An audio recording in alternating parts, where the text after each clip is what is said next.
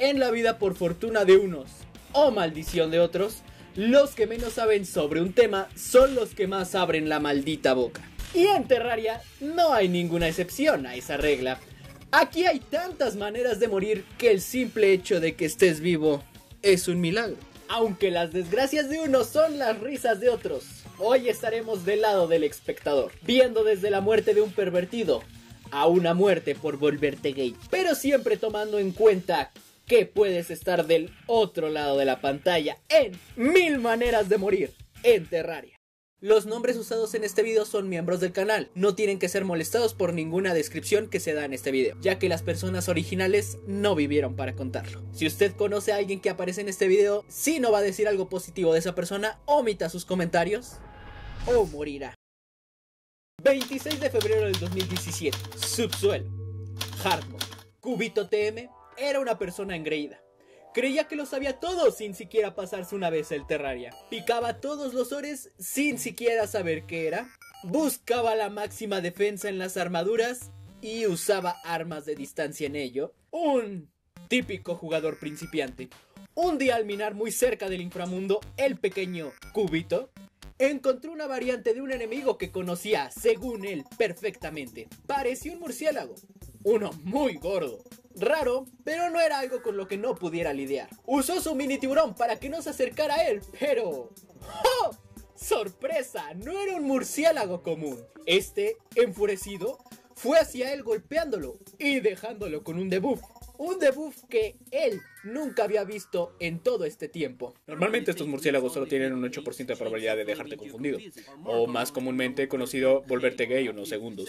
Esto puede ser mortal para jugadores novatos cerca de peligros inminentes. Recordamos que estábamos en una zona llena de lava, nuestro amiguito cayó en un pequeño lago. Para un jugador realmente experimentado, solo era tocar una tecla en el lado correcto. Para Cubito, fue su sentencia. Terco en su ineptitud, solo lograba meterse más y más fondo en esa calientita lava. Algo es seguro, nunca volvió a tener frío en su vida. Muerte número 63. ¿A poco tenías frío? 30 de agosto del 2019. Subsuelo. Normal Mode. Normalmente juegas Terraria por gusto, recomendación de un amigo o por algún youtuber. En caso de Keeper, no fue esta la razón, ya que esta persona quería aprovecharse de la buena comunidad que tiene Terraria ganando unos cuantos espectadores en Twitch. Keeper siguió muy confiado. Hacía caso a todo lo que dijera su chat en el momento que hacía su directo. Ve por madera, busca el guía, entra en la wiki, busca minerales, consume los corazones. La comunidad de Terraria siempre ha destacado por ser muy positiva. Pero también destaca por la cantidad de bromistas que hay en este juego.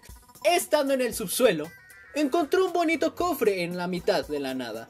Lo que él no sabía es que había más de 3 kilos de TNT justo debajo de él. Había visto trampas antes. Entonces preguntó a su chat, hey, ¿esto lo puedo abrir o qué banda? Y conociendo a la comunidad tan bromista que hay en este juego, tal como una mente colmena, todos uniformemente con un sí rotundo. ¡Oh! Pobre Keeper.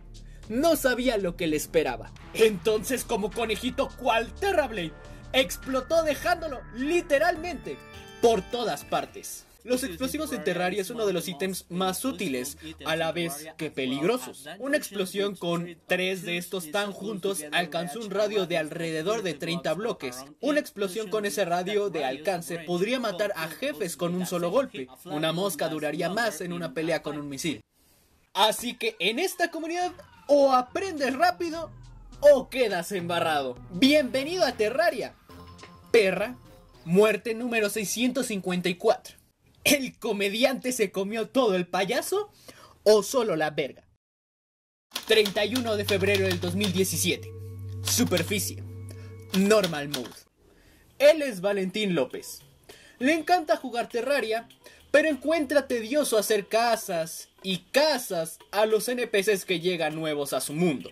Entonces, su excelente solución es hacerlas en un simple edificio. Normalmente siempre salía bien, no pasaba de poner bloques encima de él y listo. Alguna vez tenía que subir al tejado para acomodar unos cuantos bloques y caía de ahí. Tal vez nada grave, solo se hacía un poco de daño y seguía con su vida. Valentín mejoró su técnica día con día para no caer del techo cada vez que hacía un nuevo piso. Pero, tú sabes de lo que se aprovecha Terraria. No es ni de tu mala suerte, tampoco de tus conocimientos en este, ni siquiera del momento en que estás en el juego. Se aprovecha de lo sábelo todo. Comete un error y estás fuera del juego, amigo. Valentín cometió el error de la poca paciencia y empezar a hacer tres casas en lo alto de su torre. En la primera salió bien, un pequeño aviso, pero no pasó de ahí. La segunda pasó de ser un aviso a un resbalón, que si no hubiera visto al lado correcto, habría terminado ahí. Y en la tercera casa, la desesperación de terminar pronto no calculó esta vez su alcance con los bloques. Dijo, solo me muevo un poco. Y brincó al momento que no debería de hacerlo. Y esta vez cayendo por un lado de su hermoso edificio por 100 bloques de altura. ¿Qué? ¿Alguien brincó 100 bloques? Ese güey está más muerto, güey. Así que chiqui chiqui chi. Y lo mandaron a mimir. Muerte número 17. ¿100 bloques qué? Al regresar, ¿cómo es que un pervertido muere de solo desear su encuentro con una hada gigante? Quédense en Mil Maneras de Terraria. Hola chicos, bueno, seré breve. No soy bueno pidiendo que te suscribas, dislikes, etcétera, etcétera. Ustedes saben todo el guion que dan todos los youtubers. Bueno, esta vez es diferente porque pues hemos perdido mucho impulso con el canal. Así que prácticamente estamos estancados. No es nada de que alarmarse tampoco. Podríamos salir de estas si los que no están suscritos y ven mis videos se suscriben. Y los que ya están suscritos pues también compartan los videos con quien gusten. Así que bueno, voy a ver si puedo poner una meta de llegar a los 50.000 antes de que acabar el año. Si es que se puede. Para que así yo pueda hacer los videos sin el miedo de que un día para otro yo solamente sea un canal olvidado, un recuerdo del 2020. Así que una vez dicho esto de los suscriptores y de que estamos un poco estancados y que te suscribas, pues regresamos con el video. 20 de octubre del 2020. Superficie de la bendición. Hard Mode. Sexonator es un pequeño chico de Android. No, no tengan lástima por él.